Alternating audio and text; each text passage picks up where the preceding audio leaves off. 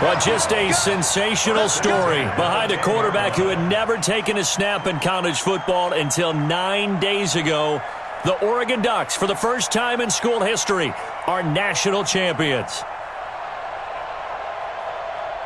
Ladies and gentlemen, please turn your attention to the podium at midfield for the presentation of the College Football Playoff National Championship Trophy as we present your college football national champions, the Oregon Ducks. Jack Ford. Talk about a long shot.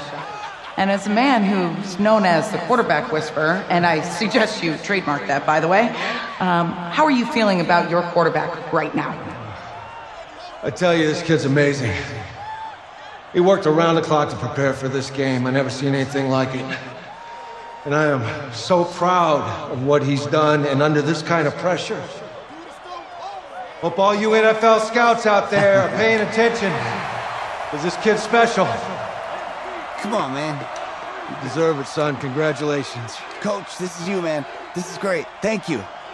A perfect end to a too short season. You're leaving here a champion.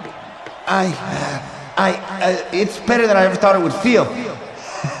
I can't even describe it really. It's just to be up on the stage, celebrating with these guys. It's, it's perfect. It's just perfect. It is a perfect end, but it seems like you put up a pretty good case that it shouldn't be today. How do you feel about that? I, I think I give myself a shot. If the NFL comes calling, I'll pick up the phone. But this guy over here, this guy, take that trophy, man. Absolutely. Isaiah Streets, we are all aware of the loss of your brother and what it took to be here today. But can you tell us, in this moment, how you're feeling right now? It's a lot, lots of feelings, Taylor. Uh, I made a promise to my brother that I was gonna. you know, none of this, none of this would have been possible without this man right here. This dude came into an impossible situation. He's got heart. Love you, man.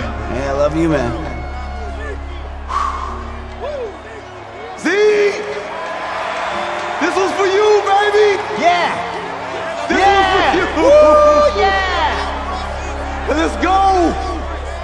A lot of emotions out on the field tonight. This is what football is all about. About getting hit and getting back up.